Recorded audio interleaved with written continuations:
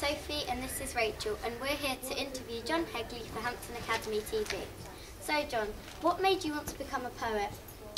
Well, I always liked reading poems and then I started to enjoy writing them and then I thought, wow, I wonder if I can make what I enjoy be a job. So it was thing, something I enjoyed, reading and writing poems and I was lucky enough to be able to turn it into a job. So it's that, really.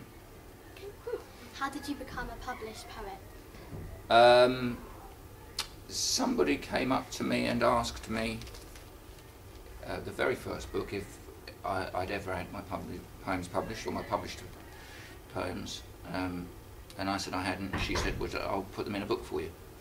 And then the second time, I had some poems uh, with me, that little book that was made, and I gave it to Roger McGough, who's, uh, who's a very well-known poet and a very good poet, and he bought the book from me and put it in a big thick book, a big, big thick book like this, with a big hardback and a big posh book.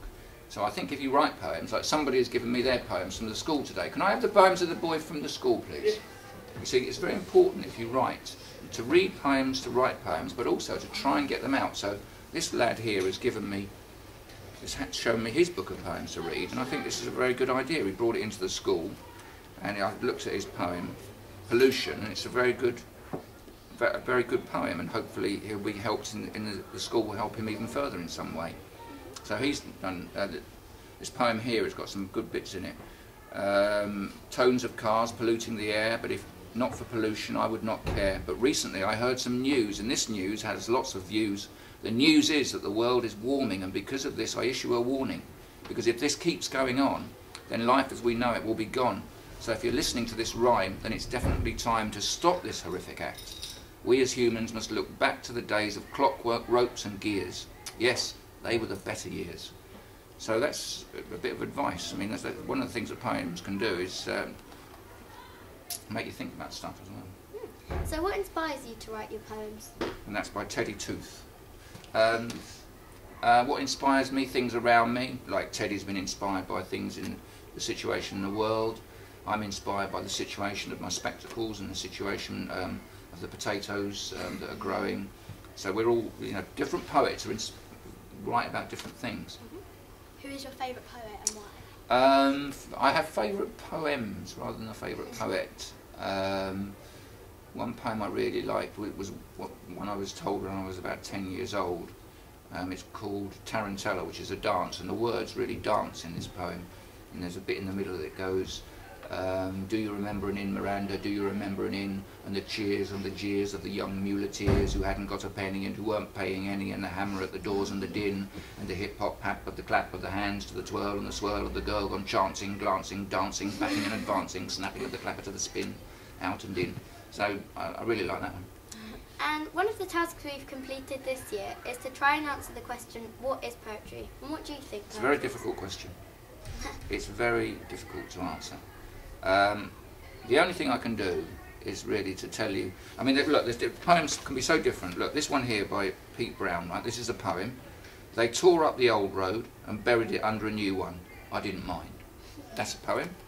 And then this one here, which is really long, is a poem, really, really long, really long is a poem.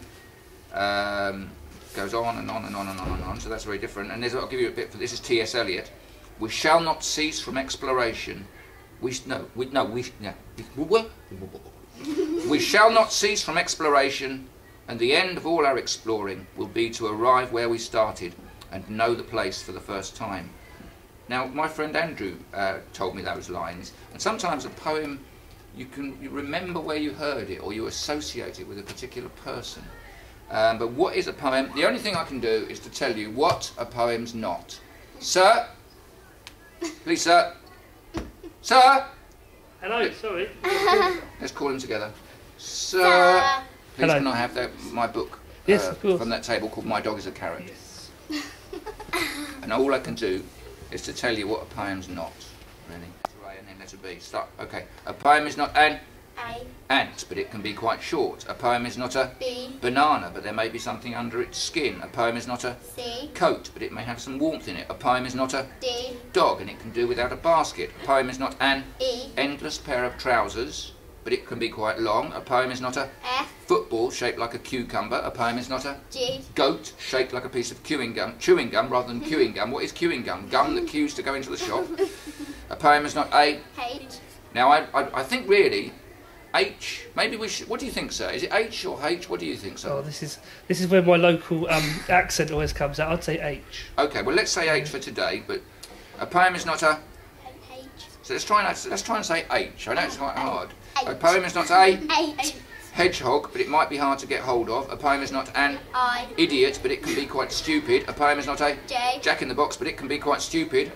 A poem is not a kite, but it might blow away. A poem is not a light bulb, but you can change it if you want to. A poem is not a monkey, but it can be quite human. I think that's enough for today.